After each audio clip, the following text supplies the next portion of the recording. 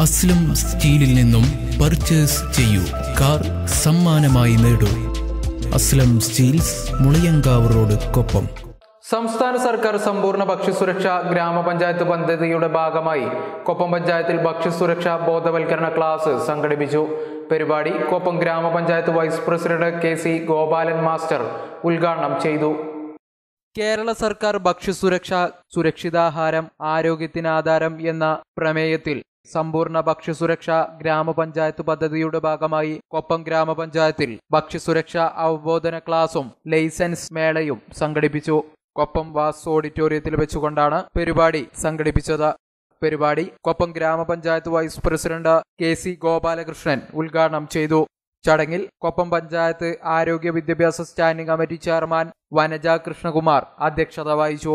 Ward member Ramachandran Dhanya Beena Aji Anand Prasad Ibrahimkutty Arun തുടങ്ങിയവർ പരിപാടിയിൽ പങ്കെടുത്തു സംസാരിച്ചു. ഭക്ഷ്യസുരക്ഷ ബോധവൽക്കരണ ക്ലാസ്സിൽ Pattambi food safety officer Hasila വിഷയാവതരണം നടത്തി. നിയമത്തിന്